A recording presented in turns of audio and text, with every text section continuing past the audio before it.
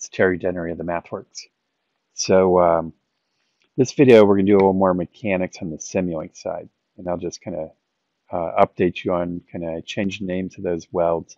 The other thing I did was I um, added that coordinate frame on the bottom of each of those. And we're going to use that for the basis of, uh, um, of modeling and representing the ground contact. Right, so let's bring all this, I'll close the old version. Let's bring it into MATLAB through the Get Geometry app.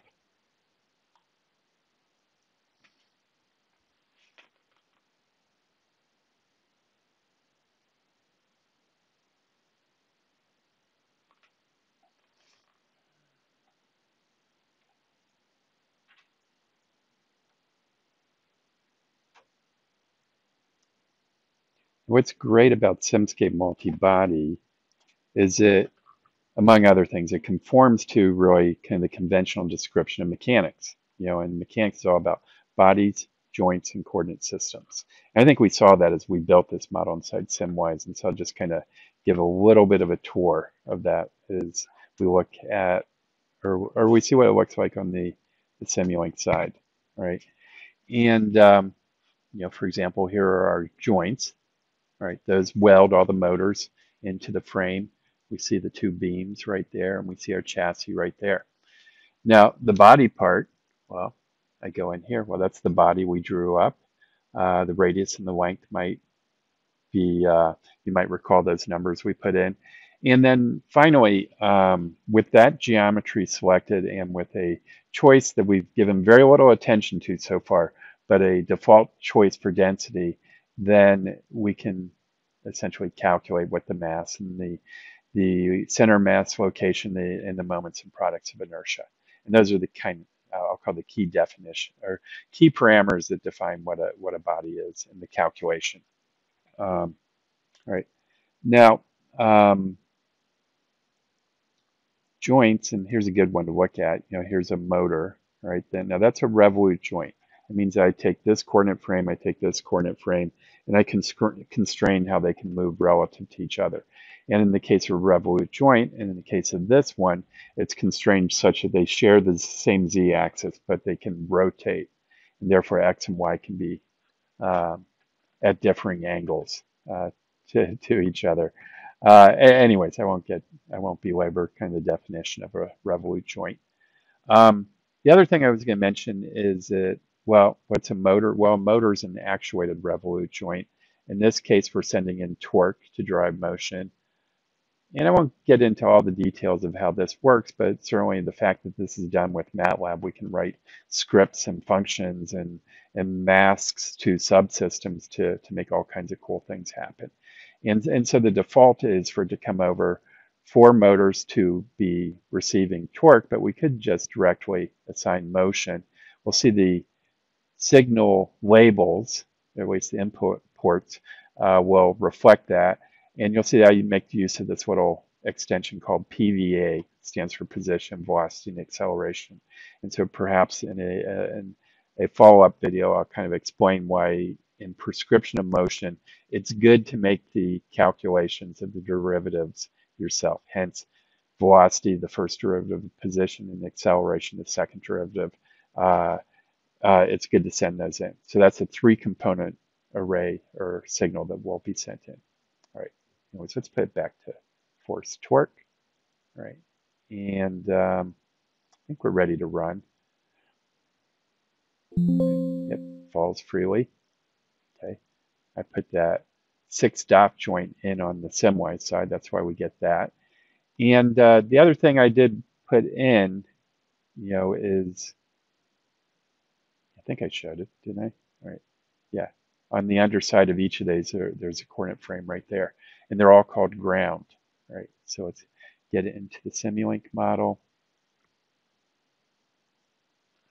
And for each of those motor cases, we see the availability for a port right there to connect into. And I'll show you what we're about to do. All right. And so bring up my Simulink browser. And under Terry's components, I have this kind of useful thing here called a ground response. And I just connect it in right there. Right, it's got this mask and basically you tell it where it is, where the ground is, and then you put in essentially uh, stiffness and damping for what will effectively be a spring damper type response. I'm going to disable my link and break my link. All right, and I'll copy that and I'll use it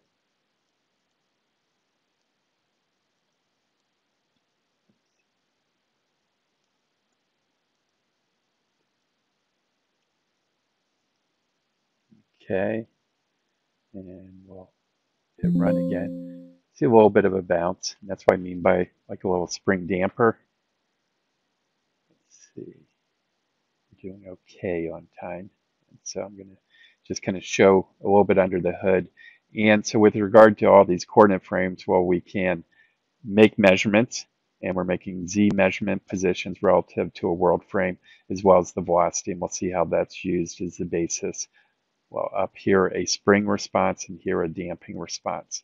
And that that force calculated will be um, sent in to um, participate in the mechanical calculation being done by SimScape Multibody.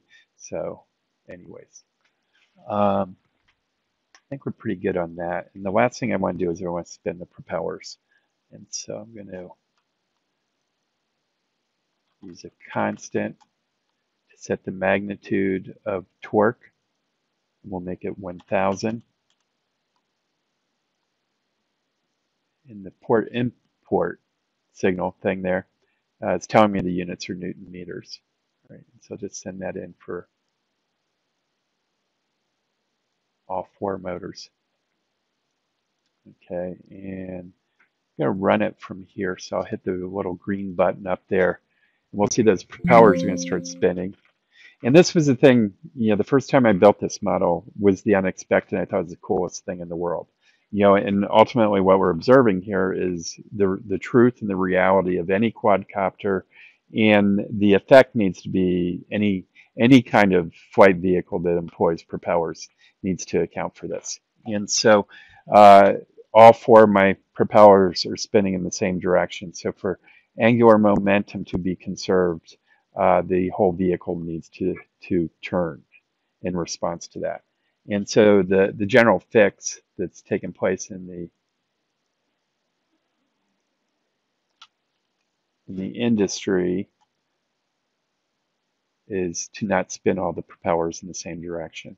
So I'll simply use a gain to change the direction of the applied torque for the two propellers or the two motors that are uh, defined with the, the, the sub in or on the negative end of the of the uh, beam carriers. All right, so anyways, with that I'll hit run. Okay, and now the whole thing doesn't rotate, but it's really a pretty cool effect. So anyways, uh, kind of simple demo here, really to just kind of show what SimScape multibody is, to show it is kind of a what you see is what you get. You know, that, that same um, convention of bodies, joints, and coordinate systems that we dealt it with, with SimWise, is reflected in, in the components that make up the model in, on the Simulink side with SimScape multibody. Um, and that you just get this kind of cool stuff that once you're inside Simulink that you can kind of use and configure and, and really kind of make things work like we did with the, the ground contact. So anyways, we'll kind of proceed with the mechanics a little bit further uh, in the next couple of videos. And um, thank you uh, for watching this one. All right, look forward to uh, producing the next ones. Okay, bye.